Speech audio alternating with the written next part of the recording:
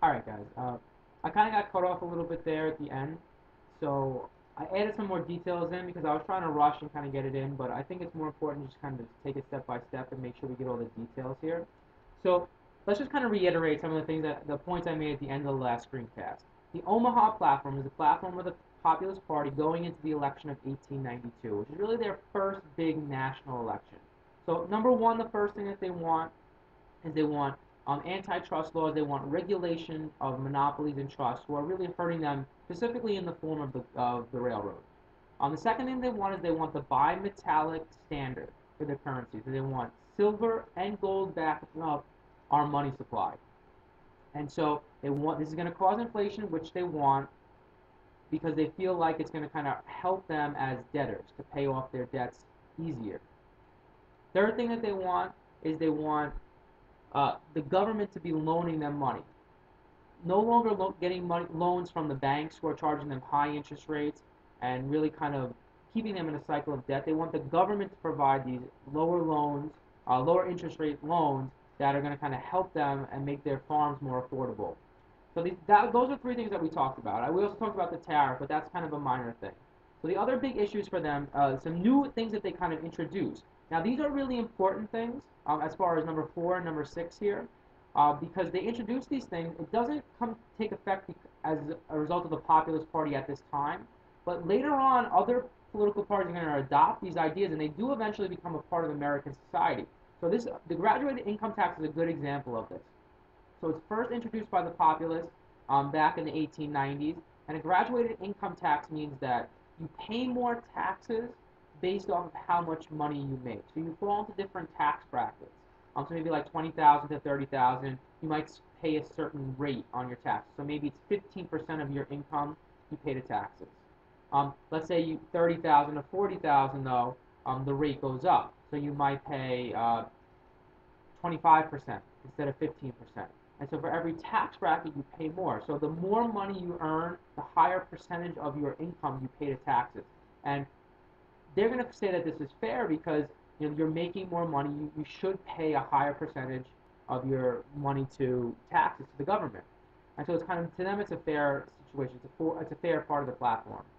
Number five, government ownership of the, the railroads. Not only the railroads, but other infrastructure like the telegraph is something that's key to them because the railroad, they really see this middleman as the one who's truly taking advantage of them the most. And allowing them or not allowing them to make a profit by selling their goods to the east. And so they want the government to take ownership over it because they look at these as key industries. And you can't, they, they think that you can't have a private business owning these key industries because you know they can manipulate the price and it's something that they need. It's not a luxury item. It's a necessity to these, to these farmers to ship their goods east. So they think feel like they need the government to take control of this, complete control, and regulate it. And the last thing, popular election of senators is another important one because although it doesn't get put in place under the populace, later on, again, other political parties are going to adopt this, and we do have popular election of the senators today.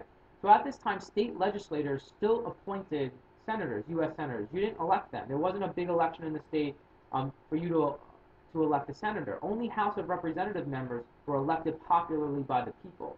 And so they also push for this to kind of have popular elections of senators. They want they look at these as more democratic reforms.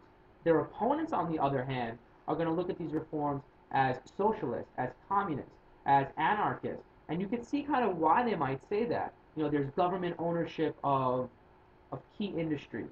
Uh, they want, you know, the wealthy to pay more money to taxes. And so a critic of this, a Republican at the time or a business owner at the time is going to say, this is socialist, what you're trying to do here. You're trying to redistribute wealth. You're trying to you know, have the government play a bigger role than it's supposed to play. You know, the government shouldn't be loaning you money. And that's kind of the counter argument here to the populists. And so it's going to kind of bring out a very heated debate um, in the 1890s between the populists, the Democrats, and the Republicans here. Now, in 1892, this is their first jump onto the, the national scene here. So this political cartoon, I think, kind of gives you a good idea of what their opponents, again, are saying of them.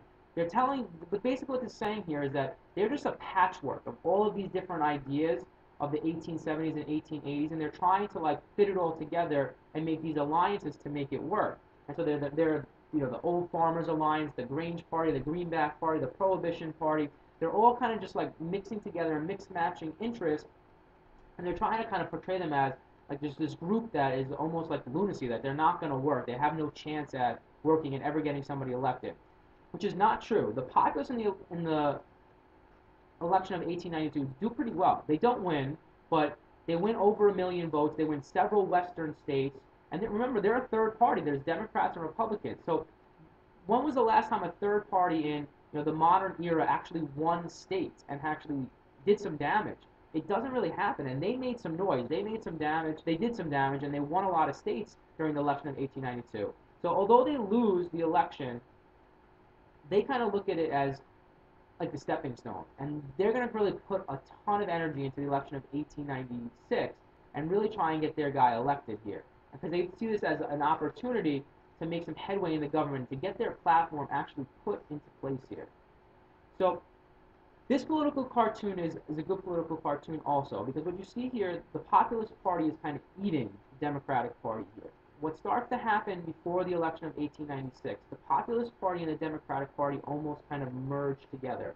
And what you're going to see here, the Populist Party candidate is also the Democratic Party candidate. They're running, they are together. Basically, the parties are both backing the same guy.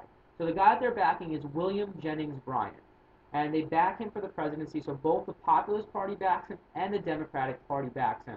Because I guess they realize, the Democratic Party realizes, and so does the Populist Party, that they're hurting each other by competing against each other. It would be better to kind of merge together and then try and compete against the Republican Party. And that's what you see happen in the election of 1896 behind the candidacy of William Jennings Bryan.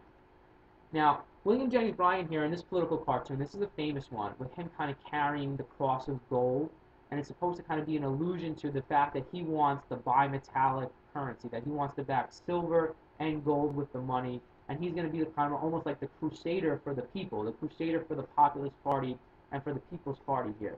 And so William Jennings Bryan is, is going to be the key uh, candidate here. He is the candidate. And what he's going to do is he's going to go out and he's going to popularly try and campaign. He's one of the first candidates that goes out all over the country. And he's going to make hundreds and thousands of speeches and try and reach millions of people directly because he really wants to talk to the people to get them to elect him to be the president.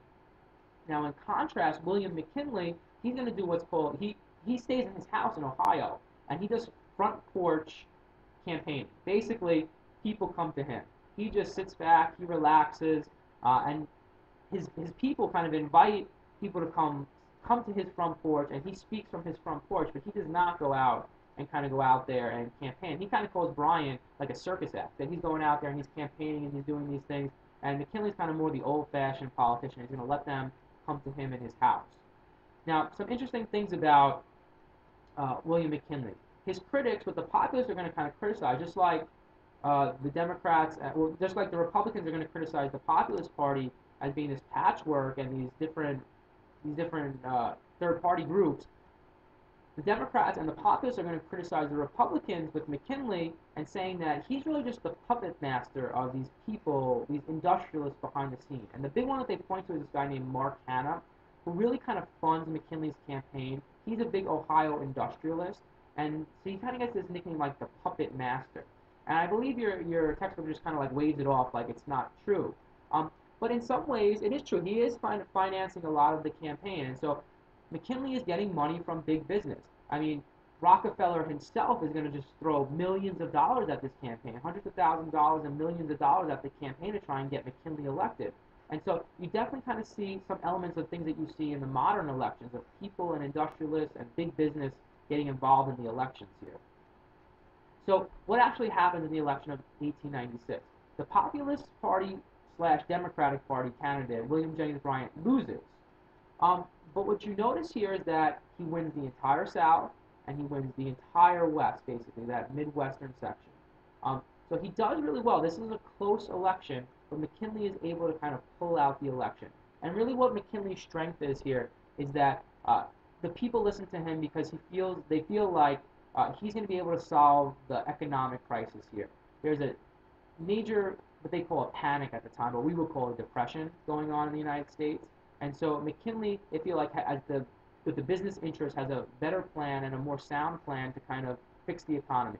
And it really hinges on this silver gold debate again. And so what this is all about is that they feel like if McKinley really pushes this point that if you allow for silver to kind of back up our money, it's going to cause this inflation and it's going to really hurt American currency and hurt our economy even more and kind of plunges deeper into a depression. And so that's kind of how he's able to sell it to the American people and to get elected. So this is a key election and a very interesting election and something that we're going to talk about in a lot more detail uh, tomorrow. So hopefully you took some good notes today and you come in prepared tomorrow, um, ready to analyze this material in kind of a unique way. All right, so I'll see you guys tomorrow in class.